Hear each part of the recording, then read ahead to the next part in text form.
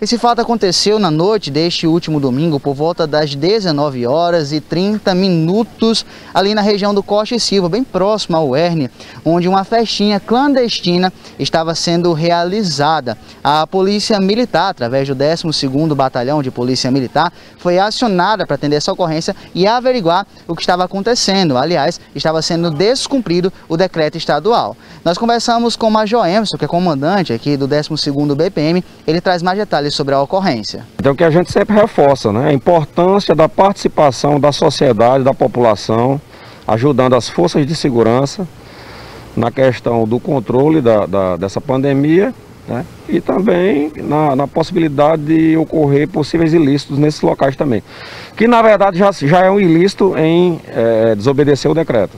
Nós recebemos informações né, anônimas, denúncia anônima, de que estaria havendo um evento né, nessa localidade, na Chácara Mix, ali após a UERN, bairro Costa e Silva. E aí os policiais foram até o local, né, os policiais do 12º Batalhão, com apoio da Operação Horus e do pessoal da CIPAM. Chegando no local, foi detectada realmente aglomeração, cerca de 60 pessoas no local. Né, nós fizemos a intervenção fizemos a contenção, a busca individual, a busca nos veículos. E aí, constatada a infração, todos foram conduzidos à delegacia para os procedimentos. De lá, é, não só adultos, mas tinha crianças também, né, junto com, com esse pessoal. É a falta de consciência, né? Infelizmente, a, a gente está acompanhando diariamente a situação dos leitos aí. E esses níveis não têm qualquer respeito, principalmente com as crianças né, que estavam acompanhando. Olha, na verdade essas festas toda a população sabe que não pode ocorrer, né? É uma, uma festa clandestina, né? Ela não pode ocorrer e a desculpa são das mais variadas, né? É uma confraternização, é, é uma série de situações, mas a princípio fizeram a festa porque acharam que poderiam fazer. Foi constatado consumo de drogas no local? Lá foi, foi encontrado muita bebida, né? É, alguns frascos com loló e droga em pequena quantidade para consumo individual. João Emerson, teve alguma denúncia referente se era uma festa provocada por alguma facção e depois foi constatado outra coisa lá? Como aconteceu? É, a informação preliminar é de que a festa estaria ocorrendo, né? Mas não nenhuma informação complementar. Ao chegar no local, os policiais, ao verificar alguns indivíduos lá do local, como já são conhecidos, né, a gente supôs que fosse, supôs não, dá a entender que a festa seria realmente dessa facção criminosa, ou então de alguns membros dessa facção criminosa. Nós temos a informação do responsável que promoveu o evento. E aí a gente não tem, é, a Polícia Militar não tem como responsabilizar o proprietário da chácara, porque o camarada tem um imóvel dele para locação, né? Muitas vezes, principalmente nessa situação agora de dificuldades, é, às vezes o proprietário não tem aquela preocupação de checar, né, de forma mais aprofundada quem são aquelas pessoas que estão alugando.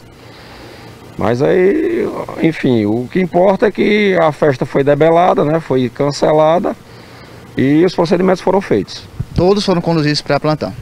Todos conduzidos a plantão e os procedimentos lá administrativos referentes à, à situação coube ao delegado de plantão.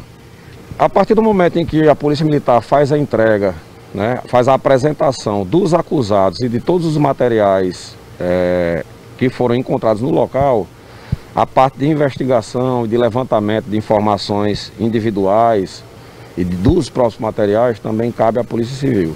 Então a gente vai ter que aguardar o posicionamento da Polícia Civil em relação a esses materiais que foram apresentados. Né. O dono do imóvel, até onde eu sei, não estava no local.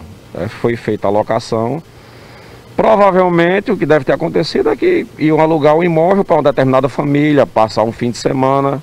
É o que eu estou dizendo, a gente não tem como responsabilizar o dono do imóvel, pelo menos preliminarmente. Isso aí também não cabe à Polícia Militar. A nós nos cabe ir até o local, constatar o ilícito e fazer a condução da situação para a delegacia para os procedimentos. A questão de uma possível responsabilização do dono do imóvel vai caber aí ao entendimento do delegado certo? Se ele sabia que essa festa ia ser realizada ou se ele foi induzido ao erro. Se alguém disse que essa, esse imóvel seria alocado para uma família passar um fim de semana e na verdade foi para outros fins. João Emerson, é, os novos foi decretado, temos um novo decreto, foi estendido até o dia 12 de maio.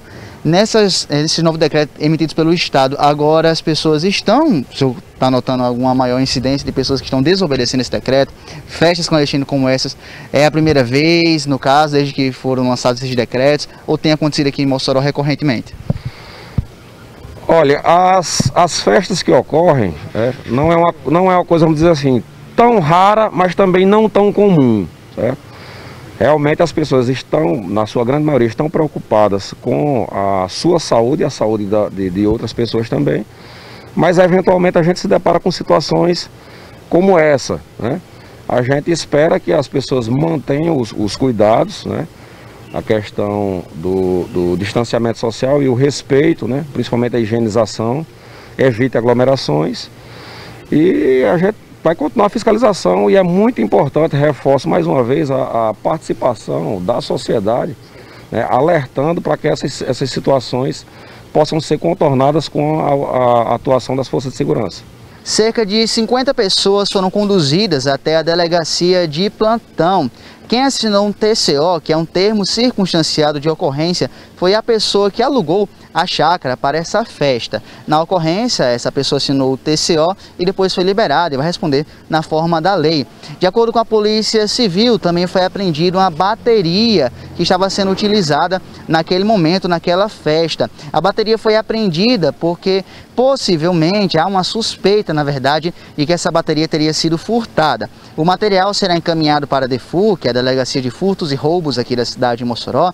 É, a delegacia especializada vai estar fazendo as devidas investigações e sendo constatado realmente se essa bateria é furtada ou não, aí o responsável por essa ocorrência referente à situação com quem a bateria estava é que vai responder criminalmente de acordo com a lei. Mais uma situação de um descumprimento de um decreto estadual que culminou então em um TCO assinado em uma festa clandestina encerrada.